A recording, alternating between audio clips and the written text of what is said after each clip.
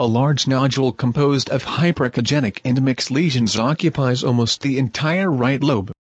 It is ambiguous whether this is a multinodular or a solitary nodule, however the former is more possible.